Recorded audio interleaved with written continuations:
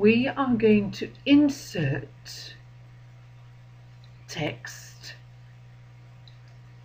from a file.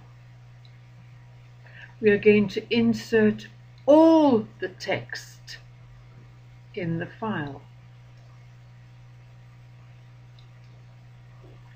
All the text from that file has been inserted.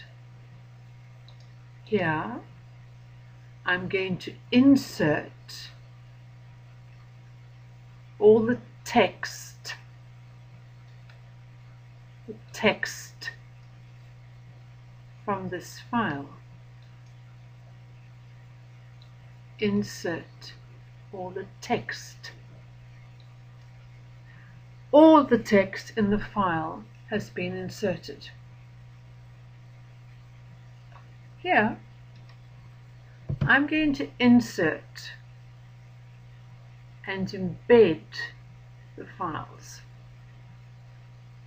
Insert text, but I'm going to embed them and insert them as an object,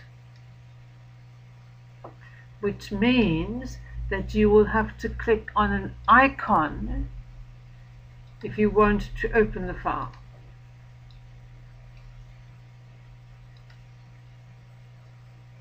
If you want the contents of that file, you're going to have to click on the icon.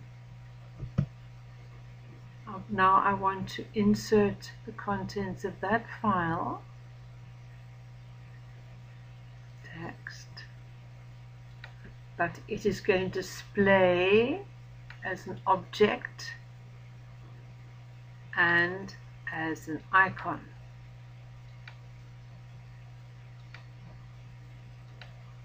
Display as an icon.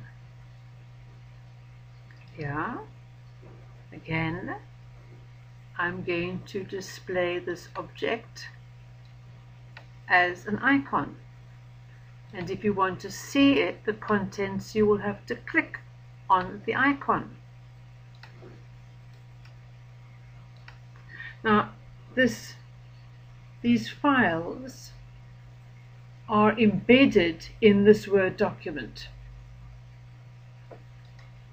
These, the same information here is displayed. Here you have to double click them if you want them to be displayed.